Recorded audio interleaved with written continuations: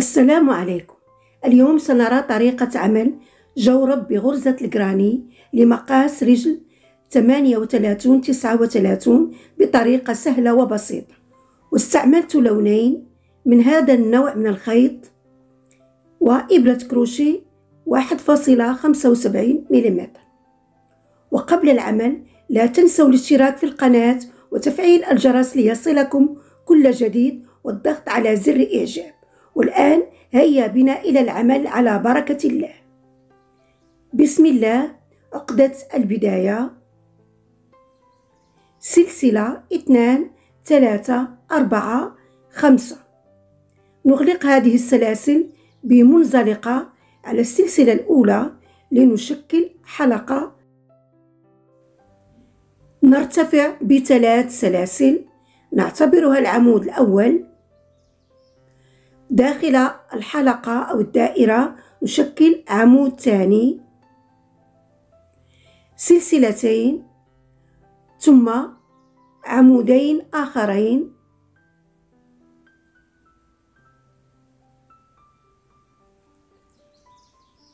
سلسلتين عمودين ونكمل ونكمل 12 عمود بنفس الطريقة. اثنان أربعة ستة ثمانية عشرة اثنى عشر. نغلق الآن هذه الدائرة بمنزلقة على العمود الأول. الآن نمر إلى الفراغ بمنزلقة فوق العمود الثاني وندخل للفراغ. ثلاث سلاسل. ارتفاع نعتبرها العمود الأول. نضيف في الفراغ عمود ثاني وعمود ثالث. ثلاث أعمدة في الفراغ. سلسلتين. نمر إلى الفراغ الثاني. كذلك ثلاث أعمدة بلفة في نفس المكان.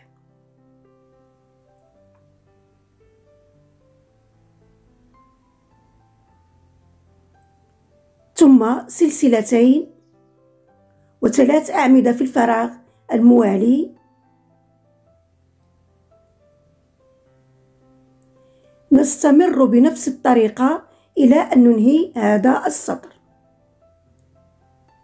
نهاية السطر. نغلق بمنزلقة على العمود الأول. نمر إلى الفراغ بمنزلقة فوق الأعمدة.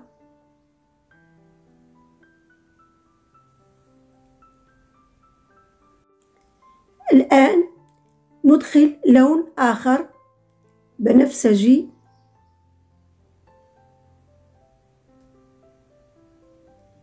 بهذه الطريقة نرتفع بثلاث سلاسل التي نعتبرها العمود الأول ثم داخل الفراغ أضيف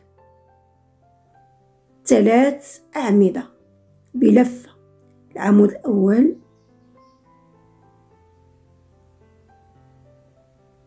نضيف العمود الثاني والعمود الثالث. إذا أصبح العدد أربعة أعمدة في الفراغ. سلسلتين. وفي الفراغ الموالي أربعة أعمدة بلفة كذلك.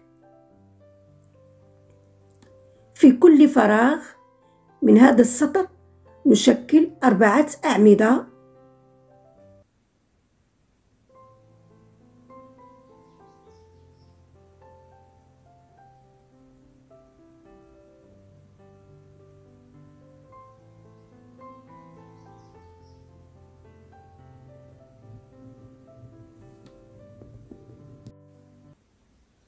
نهاية السطر. سلسلتين وسنغلق هذا السطر على العمود الأول وندمج هذا الخيط الأبيض الأول في هذه الغرزة لأننا سنشتغل به فيما بعد. الآن نمر إلى الفراغ عبر منزلقة فوق الأعمدة بهذه الطريقة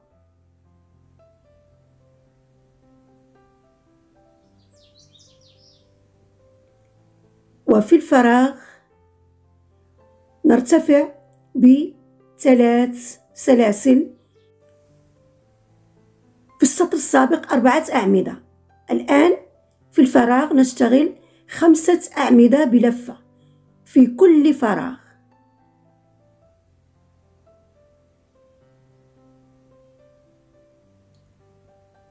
إذا خمسة أعمدة في هذا الفراغ سلسلتين ثم في الفراغ التالي كذلك خمسة أعمدة وفي جميع فراغات هذا السطر خمسة أعمدة.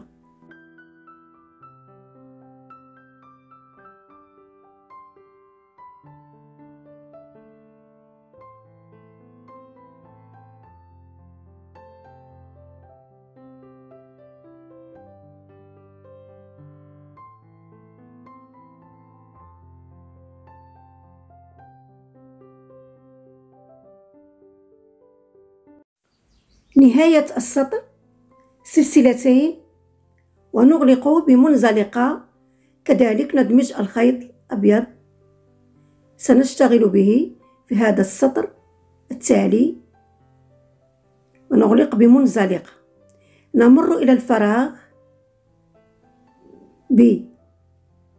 بمنزلقة فوق الأعمدة.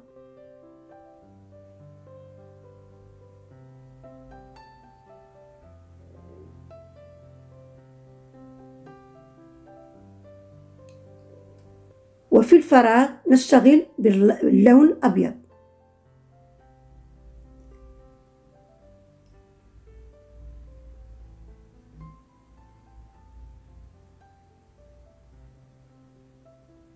نرتفع بثلاث سلاسل.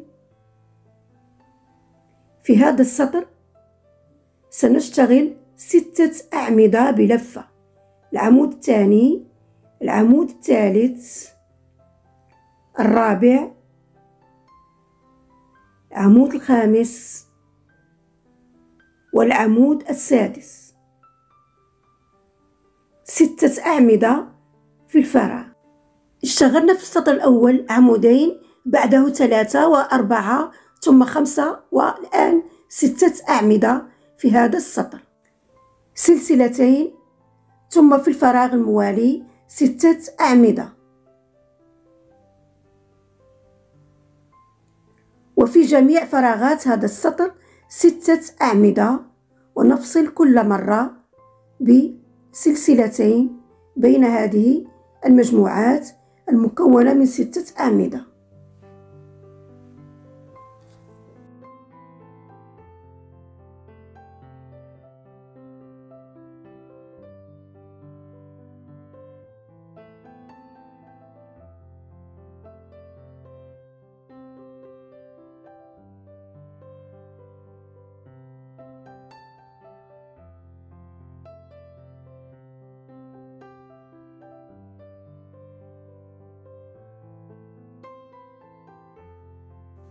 نهاية هذا السطر. نغلقه بمنزلقة على العمود الأول. ولا ننسى أن ندمج هذا الخيط لنشتغل به فيما بعد. الآن نرتفع بثلاث سلاسل. نعتبر العمود الأول. وفي نفس المكان نضيف عمود آخر بلفة. ثم على العمود الثاني. كذلك نشتغل عمود بلفة. أصبح العدد ثلاثة. سلسلتين. أترك العمود الثالث والرابع وأشتغل فوق العمود الخامس والسادس.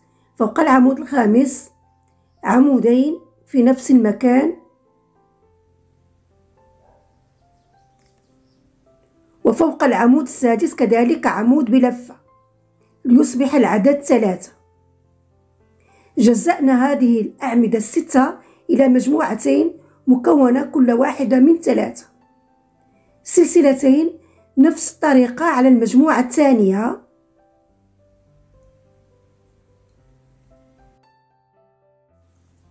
عمودين فوق العمود الأول ثم فوق العمود الثاني. عمود سلسلتين. نترك العمود الثالث والرابع ونذهب إلى العمود الخامس. نشتغل فوقه عمودين بلفة.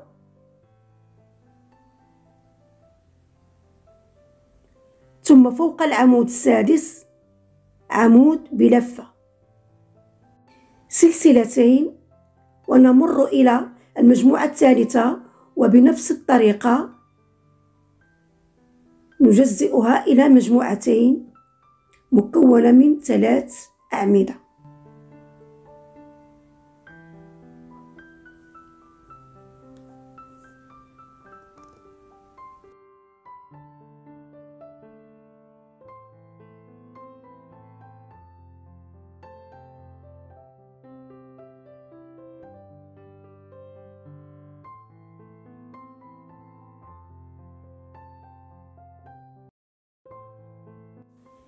نهاية هذا السطر.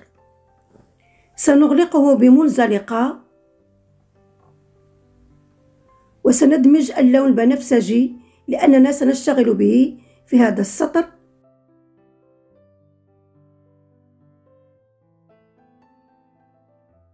نمر بمنزلقة على الأعمدة لنصل إلى الفراغ.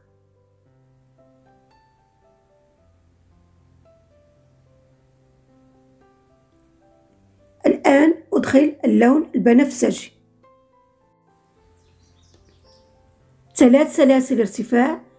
نعتبره العمود الأول.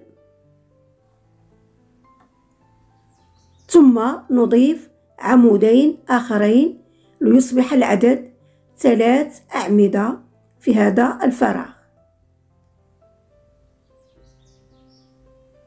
سلسلتين وسنشتغل في كل فراغ ثلاث أعمدة إلى أن ننهي هذا السطر.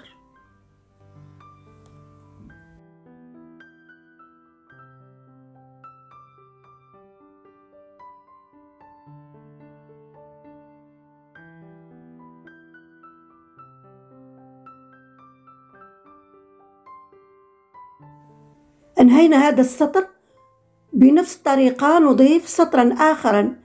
بنفس اللون ثم سطرين باللون الأبيض وهكذا إلى أن نكمل هذا الجزء الأمامي. الآن سنشتغل الجزء الخلفي بنفس الطريقة بالتتابع اللونين وأترك هذا المكان مفتوح.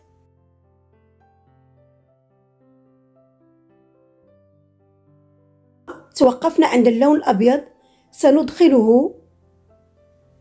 نترك هذا المكان ونأتي إلى هذا الفراغ. ندخل الخيط الأبيض. إذا هنا غرزة حشو. ثم سلسلتين لنشكل العمود الأول. نضيف العمود الثاني في الفراغ.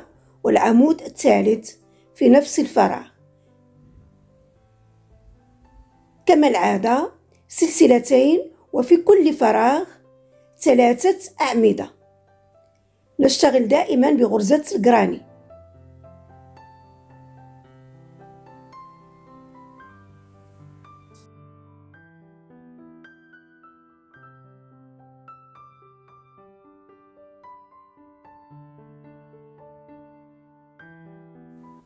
نهاية السطر.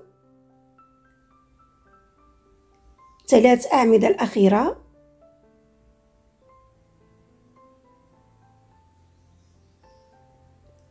نترك هذا الفراغ. ثم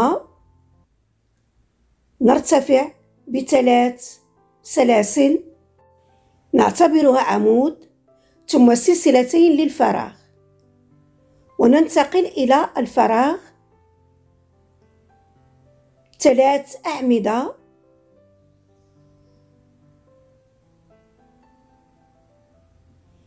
سلسلتين. ثم في كل فراغ ثلاثة أعمدة. إلى أن ننهي السطر.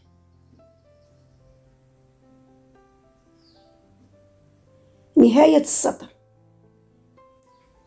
نشكل عمود. فوق السلاسل السلسلة الثالثة. ثم ندخل اللون الآخر لون بنفسجي.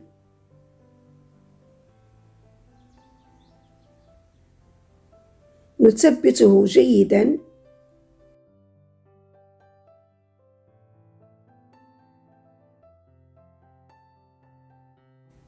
ثلاث سلاسل ارتفاع.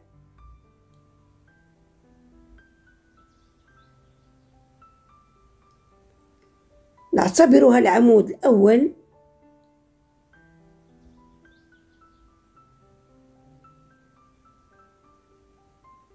ثم نضيف عمود ثاني في الفراغ والعمود الثالث.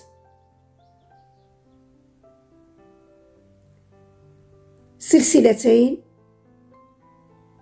وفي كل فراغ نشكل ثلاثة أعمدة.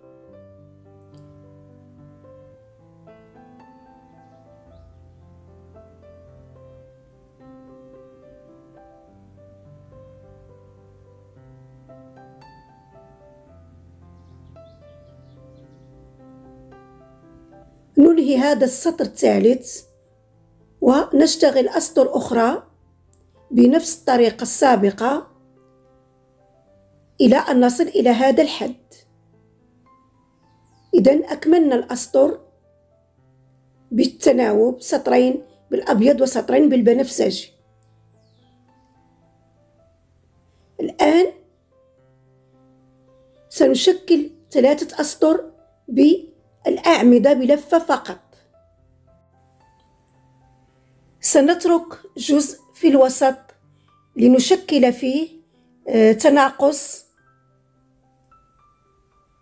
هنا أعمدة بلفة وفي الوسط غرز الحشو وهنا أعمدة بلفة. لنشكل منطقة الانحناء في كعب القدم. شكلنا ثلاث سلاسل ارتفاع العمود الأول. في الفراغ نشتغل عمود وفوق كل عمود نشتغل عمود.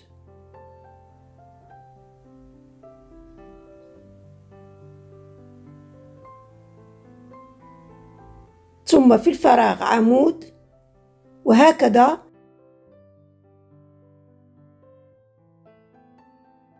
ثمانية عشر عمود. الآن نشكل غرز الحشو.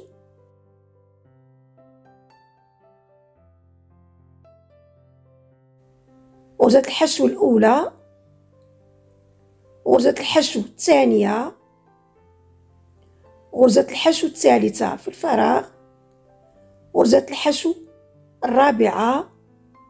ثم غرزة الحشو الخامسة. والسادسة والأخيرة. في هذا الجزء سنشكل تناقص الآن نشكل أعمدة الأخرى في الجزء الثاني ثمانية عشر عمود كما الجزء الأول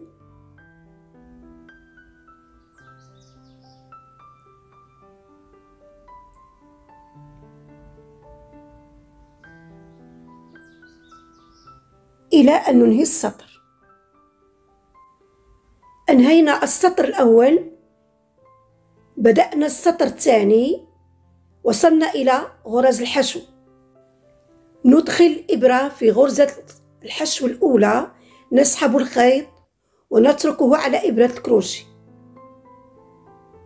ندخل إبرة كذلك في غرزة الحشو الثانية نسحب الخيط ونترك ثلاث لفات على الإبرة نخرجها دفعة واحدة. شكلنا التناقص الأول. نفس الطريقة بالنسبة للتناقص الثاني.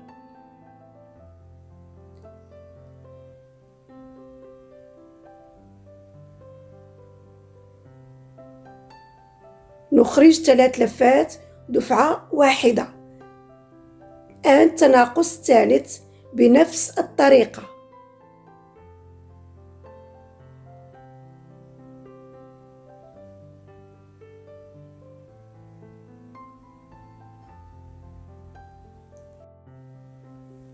نبدأ الجزء الثاني مشكل من أعمدة بلفة.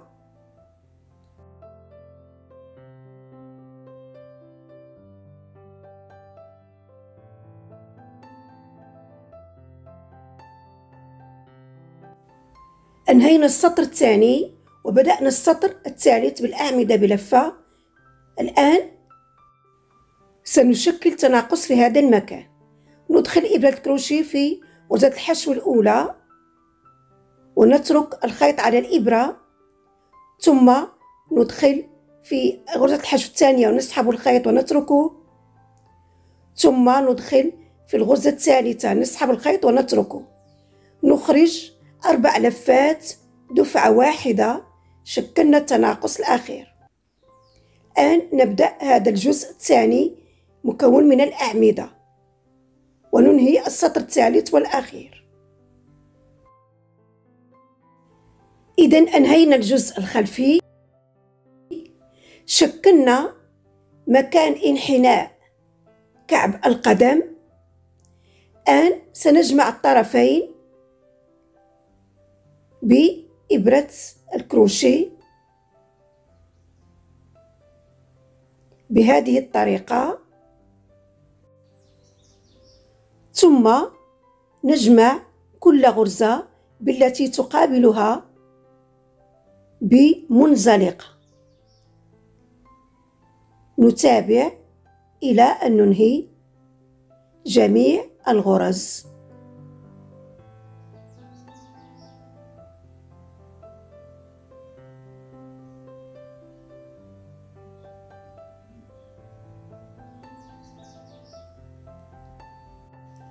انتهينا من الخياطة سنخفي الخيط تحت الأعمدة.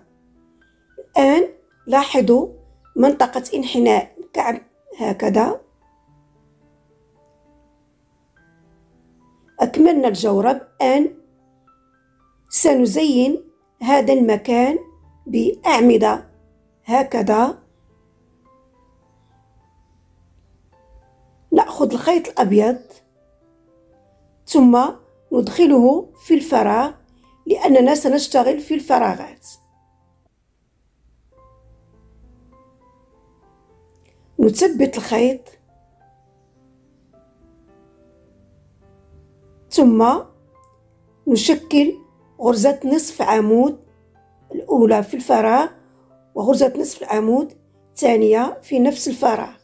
في كل فراغ أشكل غرزتين نصف عمود.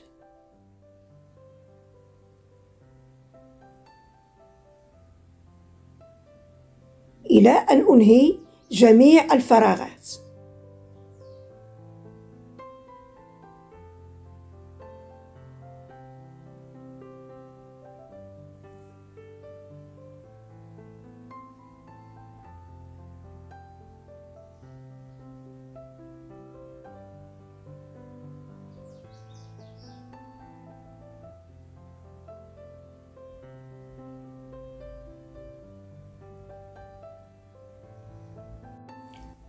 أنهينا هذا السطر.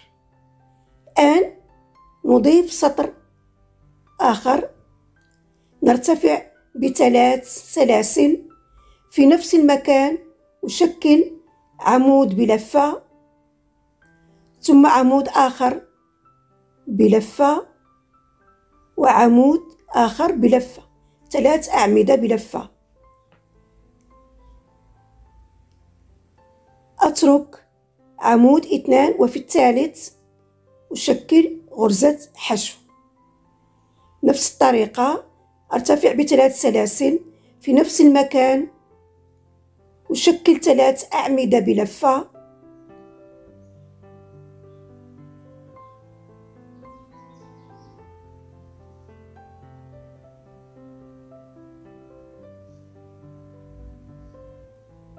أترك عمودين. وفي العمود الثالث غرزة حشو إلى أن ننهي هذا السطر.